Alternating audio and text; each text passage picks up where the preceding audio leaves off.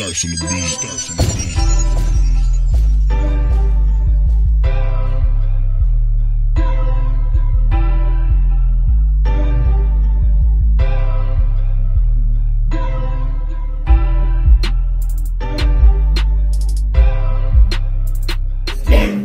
better than the ones before that allow them to go further?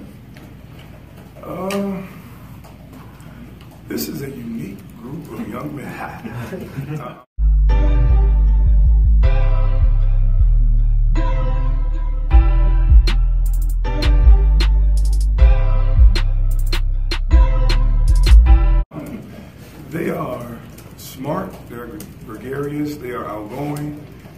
they're ultra competitive.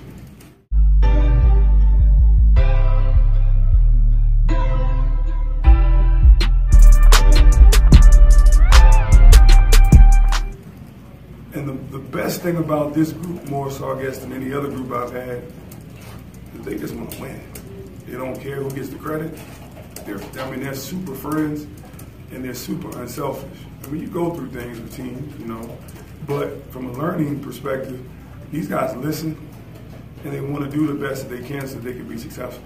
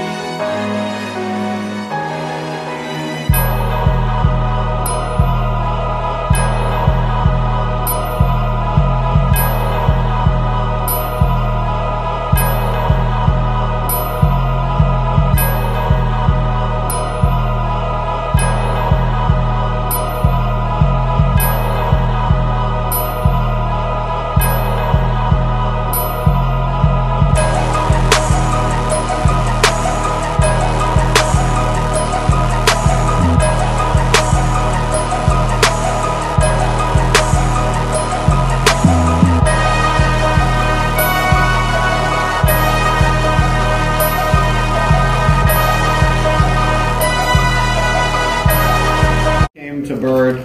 I'm guessing you envisioned this one day. Um, what what was that process of getting here? Once I had a group who bought in, this is, is it, this is exactly what I had envisioned. You know, I,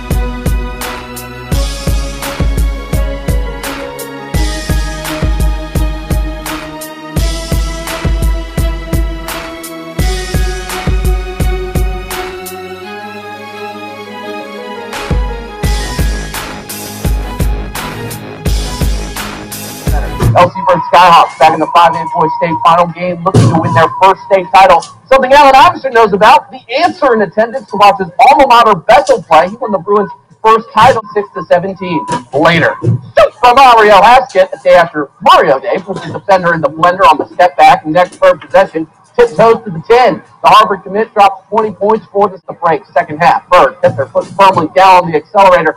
Pinky Wiley, the senior. He had 13, and LC Bird wins his first 5A Boys State title in basketball program history, 65-52. They celebrated, they acted like they've been there before, and now they are champions. we was going to make sure we showed up and played to the best of our ability. This is the state championship game a different stages to play on. We wanted to make sure we learned from our experience last year. The guys did. Good. I can't even explain. We've been working hard all year, the whole team, and we deserve it. Uh, I had a great experience at Bird. Uh, good coaches, good players. I love my team. You know, we deserve it. Ladies. What's the one biggest thing you're going to take away from LC Bird basketball that's going to help you now in the next phase of your life? competing from the, uh, the older guys that was here before us. So when we came in, we had to compete from the jump. They taught us a lot. So Leadership. When I, yeah, when, I, when our next journey to college, we're gonna go take that with us compete. Then leadership. Uh, guys before us were great leaders. You know, there's good leadership and bad leadership. Coach tells us all the time. You just got to decide which one you want to do.